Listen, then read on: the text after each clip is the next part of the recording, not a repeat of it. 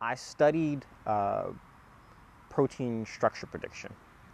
So the Gray Lab works on a program called Rosetta, which is designed to uh, see how proteins fold into their tertiary structure, to see how two proteins will interact, and to see how you can redesign a protein to have a novel function and a novel structure.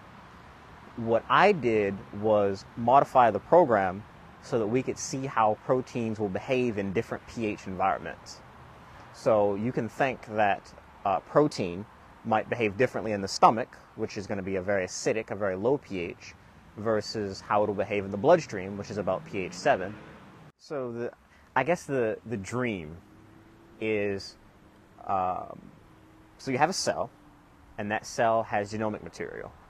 You'll take that genomic material and parse out uh, what proteins it, it will make. And then you take that map of proteins and see how they interact, how they fold, and then you go in and start tinkering like a designer. You say, protein A interacts with protein B, but I don't like the way they interact, so I'm going to change the interaction. That's the dream. So you can go in and redesign how individual proteins and protein pathways work.